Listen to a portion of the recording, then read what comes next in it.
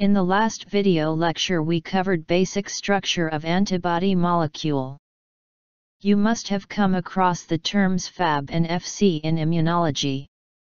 What are these?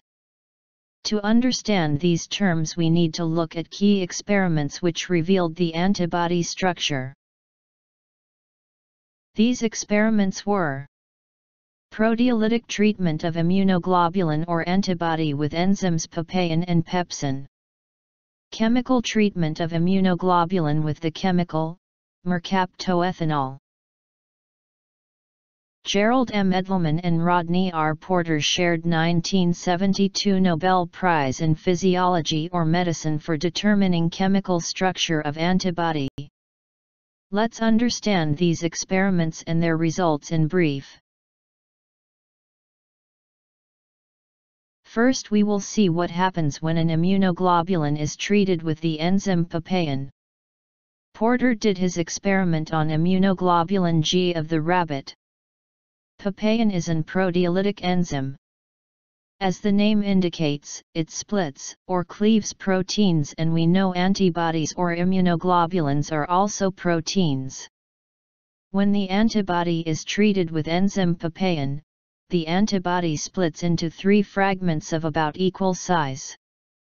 It was found that enzyme papain cuts the antibody molecule just before the two disulfide bonds, which link the heavy chains together.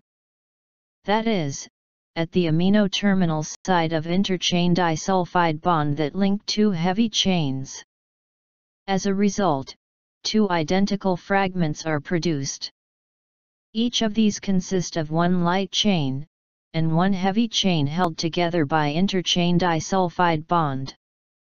Since these fragments have antigen binding activity, Porter called them fragment antigen binding, abbreviated as FAB.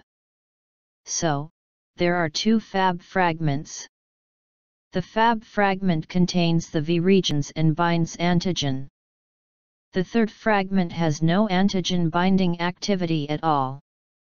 It consists of constant regions of heavy chains, held together by disulfide bonds.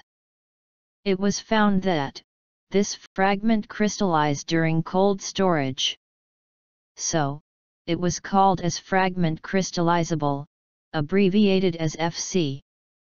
We now know that, FC fragment play role in opsonization and complement fixation, which involves antibodies.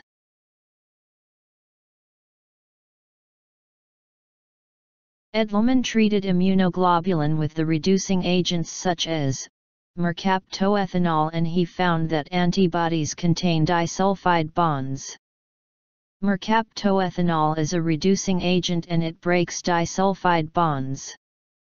As a result, all disulfide bonds are broken, leading to the splitting of immunoglobulin, into two identical chains with a molecular weight of about 22 kilodaltons each, and other two identical chains with molecular weight of about 53 kilodaltons each. The larger molecules were designated as H or heavy chains, and the smaller ones, L or light chains.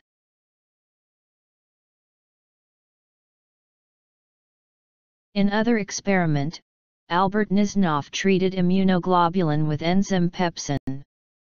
It is also a proteolytic enzyme, but it cleaves immunoglobulin molecule at the carboxy terminal side of the interchain disulfide bonds, that link heavy chains. This results in a fragment, in which the two antigen binding arms of the antibody remain linked. This fragment is represented as FAB prime whole twice. Now, here you know F stands for fragment and AB stands for antigen binding. The prime symbol here represents variation in the structure of this fragment as it contains a few more amino acids than the Fab fragment. The number 2 here represents that two such fragments are linked to each other.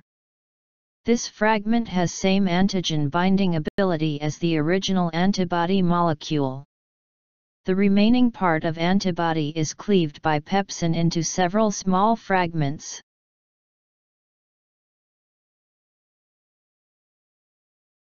So, now we understand what are Fab and Fc in an antibody molecule. There are two Fab in basic antibody structure. These are antigen binding fragments which contain variable regions and the first constant region of the N-terminal side. The Fc is composed of only constant regions of heavy chains and form the stem of basic antibody molecule. Note that C in Fc is representing the term crystallizable, since this fragment crystallizes under cold storage.